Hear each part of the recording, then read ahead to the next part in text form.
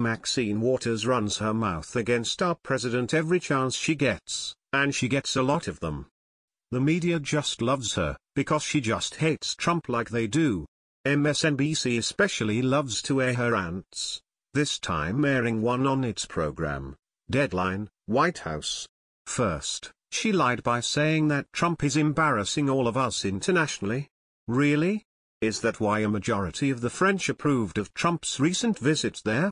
But watch this witch hunting rant yourself. She was asked what if the investigation leads nowhere, with no evidence of wrongdoing by our president and she said, well, if the special counsel comes back with that kind of determination and if this country wants to continue with this president who's embarrassing all of us internationally, who does not understand the relationship with our allies and how important it is and who will continue to have this Kremlin clan surrounding him all looking toward Putin and the Kremlin clan wanting to, you know, make sure that we lift these sanctions, if they want to have that kind of leadership if they want to have that kind of president, then America can do that.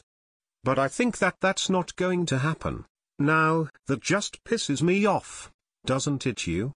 Yes, we want this president. Who we don't want is her. America elected Trump fair and square, no matter how badly the libs want to deny that.